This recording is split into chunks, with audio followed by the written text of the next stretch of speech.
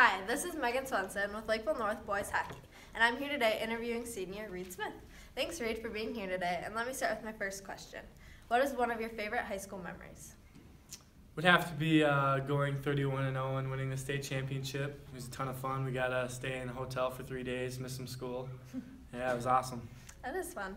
Um, what is one of your favorite LHA hockey memories?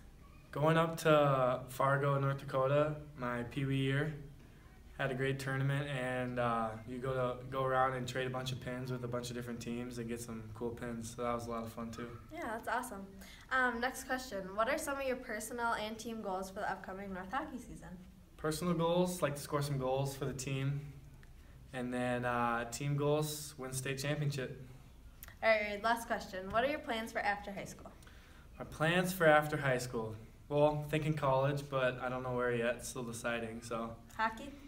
Uh, if the opportunity presents itself, yes. But if not, doesn't. I guess. All right, well, awesome. Thanks, Reed, for being here today, and good luck with the rest of the season.